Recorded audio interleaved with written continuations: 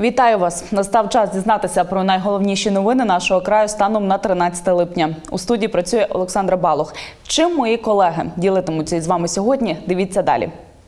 Засідання виконкому, дискусійні питання, міська сесія, ухвалені рішення, крадіжка електроенергії, рішення суду. Сталося нарешті ремонт. Викинули у ріку, гинуть тварини. Ціни ростуть, люди обурені.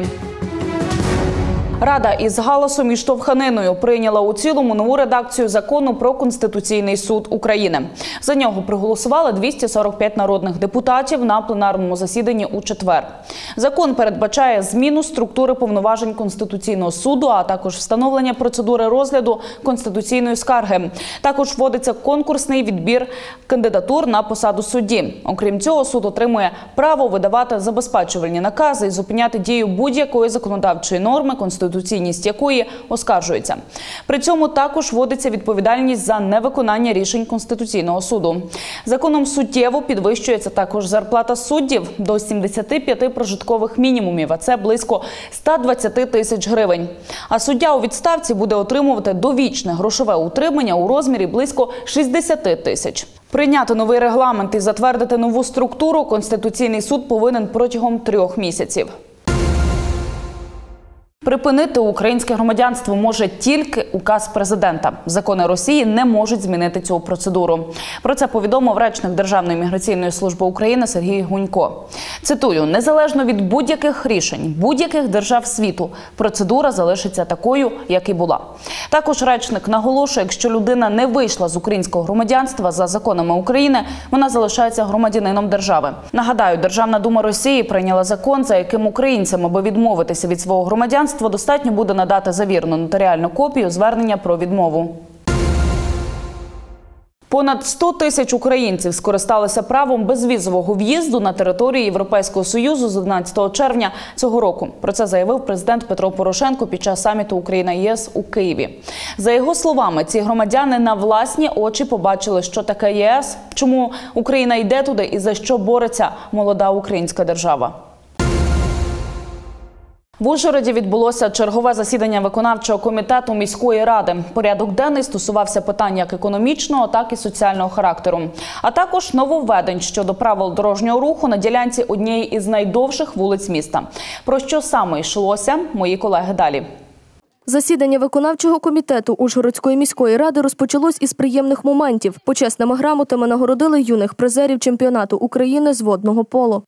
Вони завоювали друге місце на всеукраїнських змаганнях, і це нам дуже приємно, що вони захищають честь нашого міста, честь нашої області на рівні нашої країни.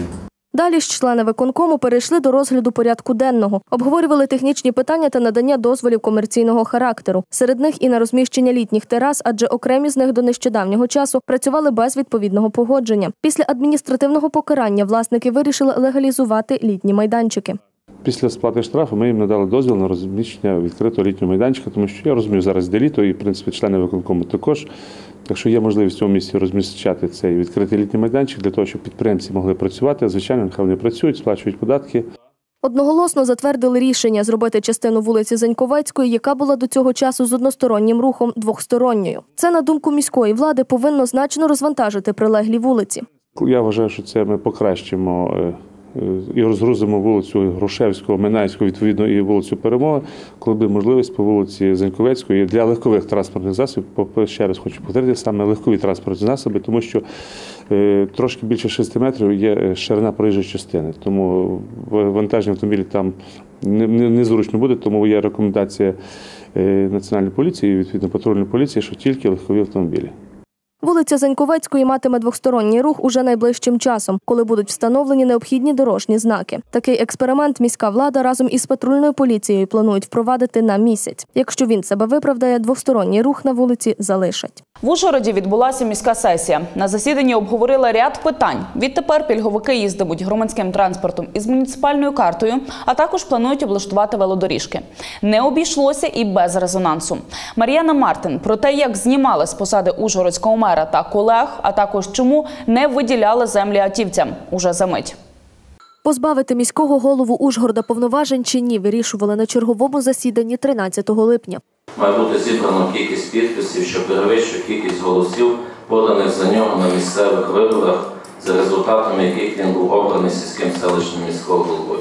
Оскільки є кричуща невідповідність в кількісному показнику, є пропозиція надати можливість ініціаторам даного проекту доопрацювати його. Ми знаємо і різні настрої в залі, але що ми вирішили були з Мішком е, подати такий проект рішення, щоб депутати мали можливість проголосувати. Може не проголосують, може проголосують, вже будуть дослухатися до своїх виборців. Але я пропоную це питання залишити.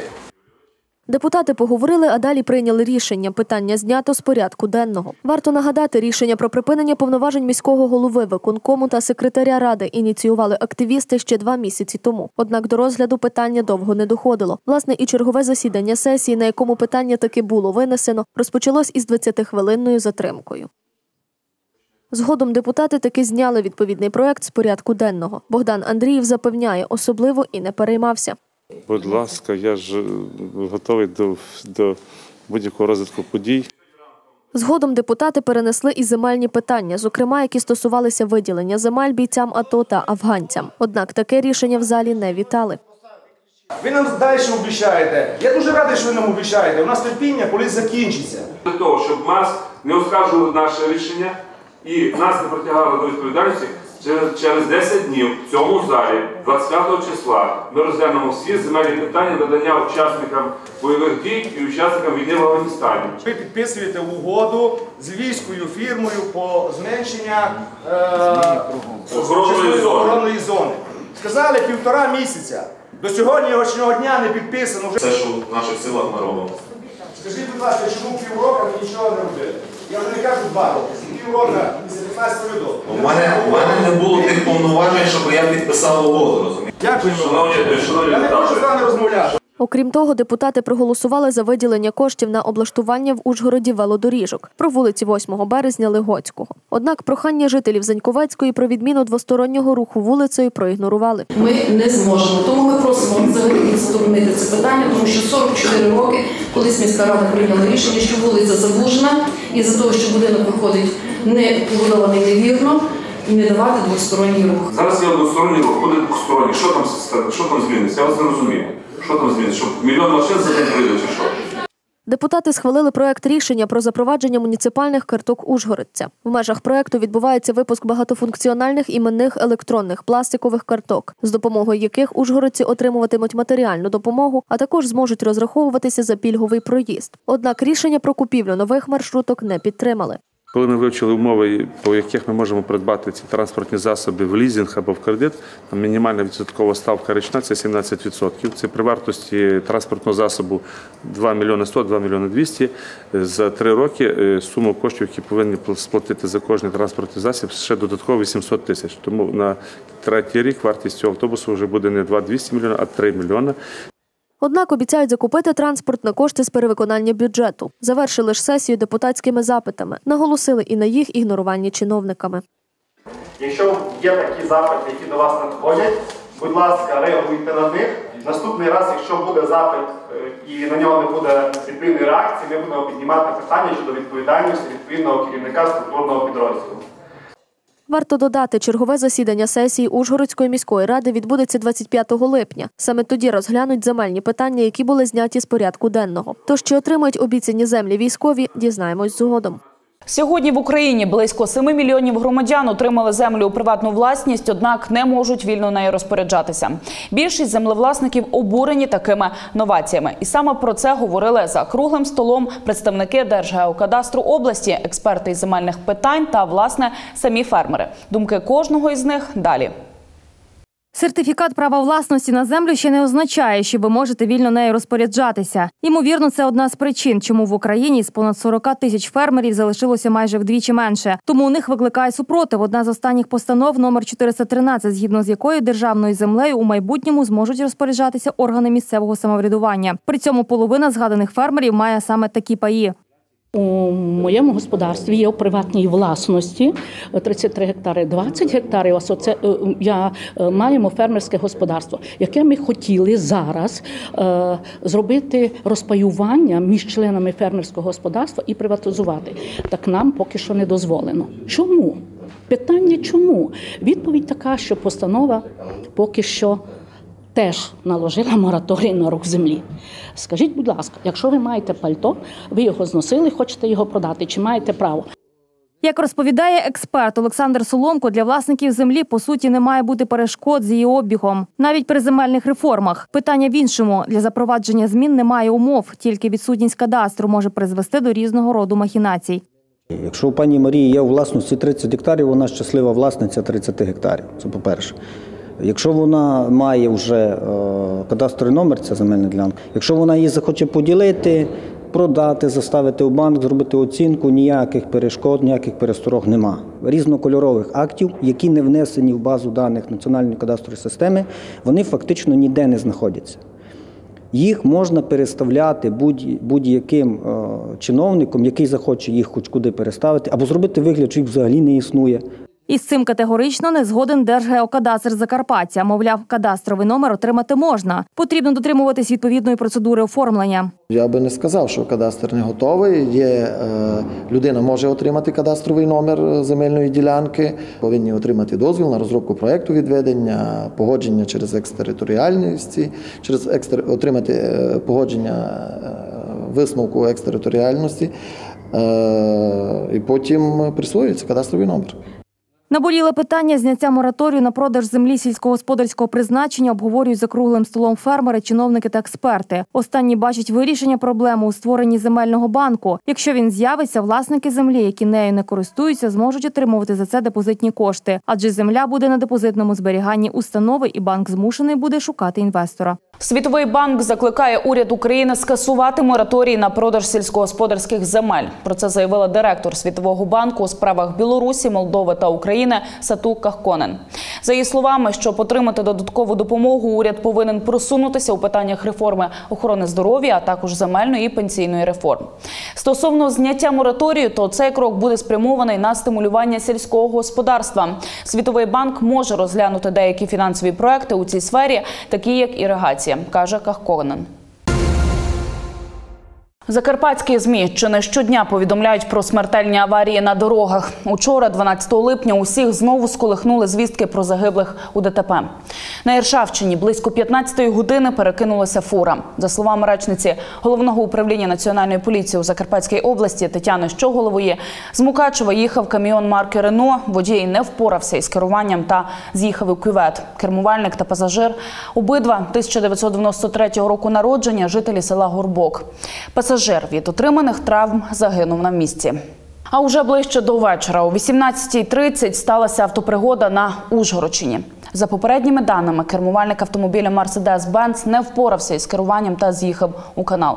55-річний водій загинув. Хоч крали та не покарали. Уже півроку Виноградівський районний суд розглядає справу щодо крадіжок електроенергії місцевим споживачем. І ось нарешті вирок винесений. Втім, не на користь підприємства. На судовому засіданні побували і наші журналісти, і ось що вони почули. Чергове засідання та цього разу останнє відбулося у Виноградівському райсуді у справі, яка розглядається вже протягом півроку. Майже 60 тисяч гривень на таку суму, як стверджує позивач, украв електроенергії виноградівський споживач. Власне, через це підприємство і подало позов до суду. При здійсненні перевірці нашими працівниками е, дотримання правил користування електричною енергією побутовими споживачами е, було виявлено порушення у споживача. Це було як самовільне підключення шляхом встановлення шунтуючих перемичок. На судові засіданні жодного разу не з'явився сам відповідач. Його інтереси захищав представник. Він і намагався під час судових дебатів обґрунтувати, чому не згідний з обвинуваченням. Порушення складений з порушенням вимог е, методики, встановленої методики. Е, Всі, е, всі порушення, які допущені працівниками РЕМ при складанні вказаного акту, наведені у заперечення. Однак представники обленерго кажуть, вони не почули чітких аргументованих заперечень його провини. Ну, Як вже наголошували сьогодні, також мною в судових засіданнях інших, е, акт складений з дотриманням вимог е, правил користування електричної енергії та методики, відповідно проведено нарахування. Ну, це така позиція сторони доводити, що ніби з порушенням складено, але жодним чином не доведено в судовому засіданні. І відповідно до правил користування електричною енергією, акт вважається дійсним, якщо його склали три представники енергопостачальника, навіть якщо споживач при цьому відмовився від підпису. Після того, як виступили обидві сторони, суд оголосив перерву. І вже як нам стало відомо сьогодні, вирок винесений, втім, не на користь підприємства. Та в Закарпатті обленерго кажуть, на це рішення будуть подавати апеляцію. Сталося найбільш проблемний автошлях Закарпаття. Ділянка дороги Мукачево-Рогатин, що проходить територію краю, ремонтують. Згідно із кошторисом, на майже 210 кілометрів нового покриття планують витратити до 2 мільярдів гривень. Наразі роботи тривають у межах селища Єсеня. У межах села Лазищина і селища Ясіня наразі відновлюють проїжджу частину ділянки дороги Мукачі-Борогатин. Паралельно на узбіччях дорожники роблять водовідведення, стінки укріплюють бетоном. Цей відрізок дороги одна з головних транспортних артерій Закарпаття. Досі її рятували ямковим ремонтом. Роботи розпочалися десь 10 днів приблизно перед цим. І е, великий відрізок роботи вже зроблений. Значить, е, роблять е, підрядники, виконавці цих робіт е, круглодобово у три зміни. Ділянка дороги Мукачево-Рогатин пролягає і через центр Ясіня. Протяжність селища майже 22 кілометри. Місцеві кажуть, ремонту не бачили давно, тож радіють, що матимуть дорогу європейського зразка. Дорога була взагалі погана, якщо чесно сказати. Діло в тому, що менше на, на то на машини ремонт буде даватися. Дорога ж державного значення. Тут є наше лице та й наші то, сюди ж їздять. Це зв'язок між двома областями раз. По-друге, на ЧОП виїзд. Маса машин їздить. Їздити по хорошій дорозі та їздити по побитій то є дві великі різниці. Неможливо було проїхати вже. Такі ями були. То що, так як машина чіпала на рівні дорозі, то що ще робити? Що ще говорити може? Добре, все добре. Добре, що виділили гроші, що є. Та будуть їздити машини, і ширше буде, та й все.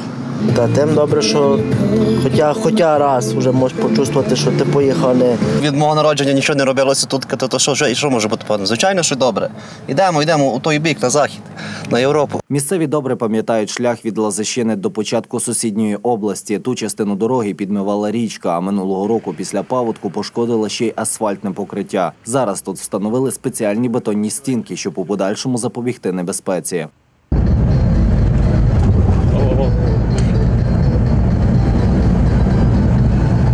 Селищний голова зазначає, за два тижні бригада має завершити ремонтні роботи. Ну, ми зрізаємо опасні гілки, котрі виходять на е, проїжджу частину. Бо у разі, якщо вони проходять, то на пів метра е, дорожнє полотно буде вище. І аби е, у разі його ще розширення ті гілки не зачіпали у машини, ми мусимо їх прорубати, бо попросили, що у них немає спеціалістів. Залучили і працівників лісгоспу, які спиляли зайві гілки дерев. Щодо капітального ремонту дороги Едуард Зелінський каже: є дорога, є туристи, тож бачить хорошу перспективу. У нас основний розрахунок на туристів. І, е, як будуть у нас дороги, то до нас поїдуть е, люди. Хто хоче розбити свою машину е, на бездоріжжі. Ну а поки роботи тривають, сьогодні це одна з найкращих доріг в області. За бюджетною програмою на ремонт 209 кілометрів траси Мукачево-Рогатин запланували виділити мільярд 600 мільйонів гривень. Частину цих коштів витратять на капітальний ремонт 50 кілометрів автошляху у Рахівському районі.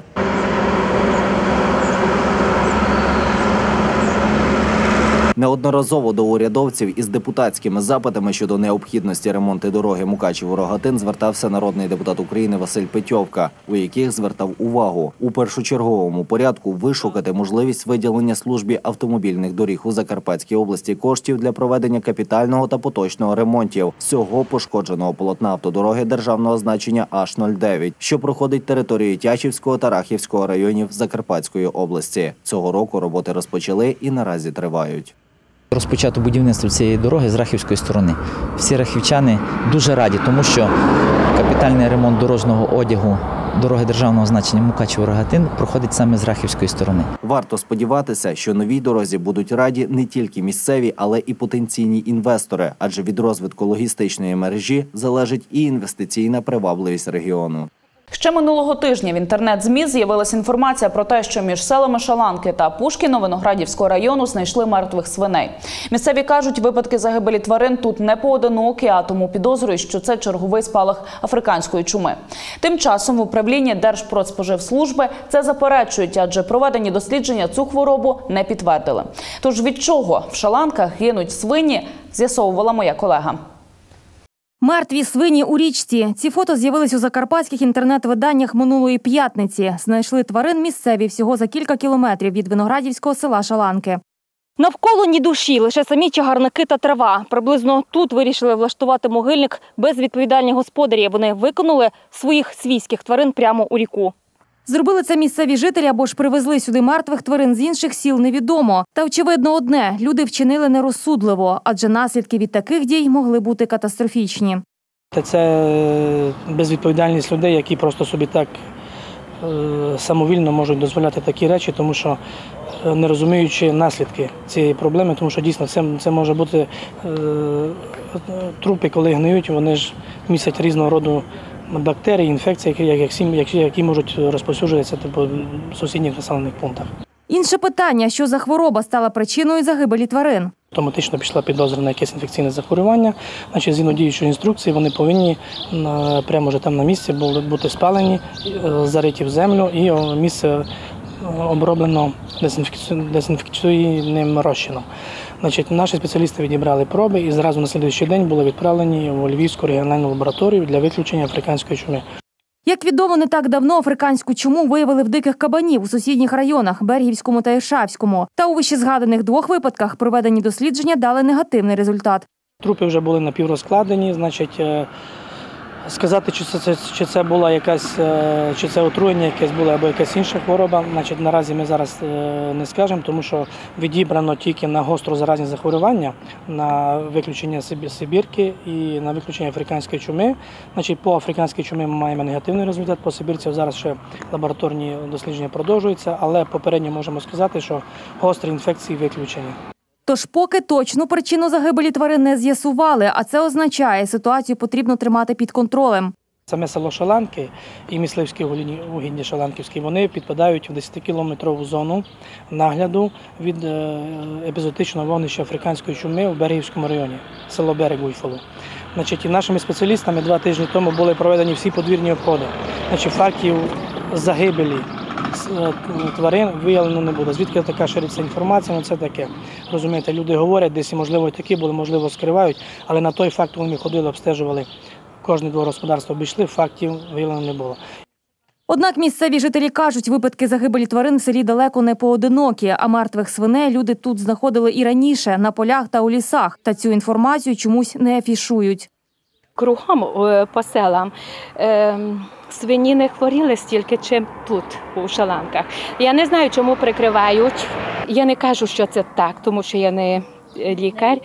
але чула, що тут великі проблеми були з свинями. Тут взагалі і є. Е, Багато свиней здохли. Ну я уверена, що це не так мало свинів здохло. Там чотири чи не знаю, чи дві. Там повно свиней. Казали чередарі, що це, що повно було. Місцеві переконані, аби розібрати, що за хвороба вбиває свиней, потрібно залучити експертів з області та провести дослідження більш ретельно. Лише так можна у подальшому застрахуватись від її поширення по цілому Закарпаттю. У порівнянні з груднем 2016 року у квітні поточного ціни на продукти харчування зросли на 6%, найбільше на овочі, фрукти та цукор. Про це йдеться у даних Державної служби статистики України. Також зросли ціни на хліб, м'ясо та м'ясопродукти, молоко, сир твердий та м'який. У той же час ціни на яйця знизились майже на 40%. На алкогольні напої зросли на 3%. Через несприятливі погодні умови врожай фруктів та овочів цього літа не особливо багатий. Саме це зумовлює різке підвищення цін на продукцію. Що ще впливає на ріст цін та як це позначилося на гаманцях краян, дізнавалася моя колега. В літню пору особливо хочеться скуштувати смачненьких фруктів та овочів. Наскільки цінова політика дозволяє це зробити, ідемо дізнаватись просто зараз. Ціни на фрукти та овочі влітку мали б знижуватись. Проте сезон 2017 року такої тенденції не демонструє. Які там доступні ціни? Жіночки старенькі, котрі йдуть е, за пенсію, то ті 1100 гривень, та хіба вона може купити? Позирає на товар та каже не раз одна, боже, я ще, я ще його не пробувала. Я беру її в руки, даю в неї трусяться руки, я ще його каже, не пробувала ніколи в житті. Я їй даю в руки, беріть. Та ви що, дай беріть, кажу, їжте жіночку. І уходять, плачуть жіночки за цю пенсію за нашу, яка вона є. Проте не всі продавці погоджуються з тим, що ціни зависокі. Ціни, я думаю, нормальні. То якщо, наприклад, е, розова помідора стоїть 20 гривень, то я думаю, нормальна ціна. Цибуля 10 гривень, часник 60 гривень, перець 12, абрикоса 25, 30, теж нормальні ціни. До прикладу, сталої ціни на картоплю наразі немає. В середньому вартість кілограма 8 гривень. Зважаючи на погодні зміни, варіюється і ціна. На картоплю ціни виросли в зв'язку з тим, що йде дощі дуже часті, і тому трошки виросло. Які тепер ціни? Ну, типу 9, 8, 6 менша, 10 то така сама відборна, гарна картопля. А так середня ціна 8-9 гривень. Якщо говорити про ціни на фрукти, то завезені з теплих країв коштують дешевше. Те, що вирощують на Україні, дорожче, адже знову ж таки погода не сприяє хорошому врожаю. Принаймні так вважають продавці. Ціни у нас коротше, на фрукти дуже дорогі, тому що урожаю немає, все вимерзло. А на такі фрукти завозні подешевіли ціни. На банан, на такий подешевіло, а на наші все дороге. У нас е, дуже багато випадає кислотних дощів і все в нас портиться. Так само абрикоса, персик. Е, Якщо зривати, наприклад, персик, да, половина з нього є гнилого багато. Так само і абрикоса, і, і град, е, був сильний, дуже побило. Наші краяни таке підвищення відчувають на власних кишенях. Кажуть, якби ж хоча б уже ціни були сталими, було б легше. Дуже великі. З пенсії дуже трудно виходити з нього. Треба маленько підробляти, щоб до пенсії, бо іншого не можемо виходити. Так що видите, бачите самі, які ціни. А ціни, якщо б сталися б на місці, ще б добре було. Ну день за день ростуть. Також продавці роблять власні припущення, чи чекати хорошого врожаю та здешевлення продукції цього літа. Урожай поки є. Поки є у нас е, непоганий урожай. Ну, погодні, як говориться, условия дуже погані і вряд ли буде багато урожаю. Тому що все гниє. Вся продукція гниє. Але все ж таки варто сподіватись, що погода посприяє тому, щоб на сезонні продукти ціни знизились. Будьте обережні, шахраї вигадали нову схему виманювання коштів після атаки вірусу Петя. Жертвами вірусу 27 червня стала третина українських банків. Як повідомляє прес-служба Ощадбанку, шахраї телефонують клієнтам і від імені співробітників просять надати їхні персональні дані для доступу до персонального рахунку. Такі дії вони пояснюють втратою баз даних внаслідок злому електронних систем Ощадбанку. У банку рекомендували своїм клієнтам у разі таких дзвінків відразу завершувати розмову і повідомляти про це у контакт-центр банку. Ще одну схему шахрайства вигадали уже на Закарпатті. Жінка, представляючись помічницею Геннадія Москаля, телефонує керівникам підприємств або ж навіть приходить до них особисто і просить виділити гроші на відпочинок дітей із зони АТО, котрі евакуйовані на Закарпаття і потребують термінової допомоги. Останні такі випадки зафіксовані у Великоберезнянському та Тячівському районах. Сам голова ОДА заявляє, жодних доручень просити гроші не давав, тому просить не вестися на шахрайство і у разі чого одразу звертатися у поліцію. На замітку абітурієнта, які місця у рейтингу вишів України посідають закарпатські. Рейтинг склав портал Освіта.UA. Він включив у себе 293 заклади 3 та 4 рівнів акредитації. Першу позицію у цьому рейтингу отримав Київський національний університет імені Тараса Шевченка. Друге місце НТУ Київський політехнічний інститут імені Ігоря Сікорського. А третє Харківський національний університет імені Каразіна. Ужгородський національний університет разом зі Львівським національним медичним університетом імені Данила Галицького посів 20-ту позицію. Що стосується Мукачівського державного університету, то він на 171-му місці. Закарпатська академія мистецтв 134 місце. Закарпатський угорський інститут імені Ференца Ракуці II – 179 місце. Будьте обережні. В Україну прийшов новий атмосферний фронт. Він принесе грози та похолодання. Вже о сьомій ранку цей фронт був над західними областями. Про це розповіла синоптик Наталя Діденко. Вона радить, яку б важливу справу ви не робили. Тікайте у безпечне місце. Щойно почнеться гроза. Ні в якому разі не під одиноке дерево. Якщо поруч кущі або низенькі дерева, краще під них. Подалі від лінії електропередач лягати на землю також небезпечно. Краще присісти відкласти далі все металеве. У випусках новин ми вже повідомляли про погіршення погодних умов на Закарпатті. Тож будьте обережними і дотримуйтеся усіх порад. В Україні знімають фільм про події на Донбасі. Художню кінострічку Війна Химар глядачі зможуть побачити до кінця 2017-го. Наразі в інтернет-мережі вже опублікували трейлер. Над фільмом працювали режисери Анастасія та Марія Старожицькі. Це невелика історія про бойові дії на сході України, кохання та смерть. В основі кінострічки документальні факти та неймовірна доля двох закоханих. Емоційно сильну картину режисери представлять на міжнародному фестивалі в Одесі.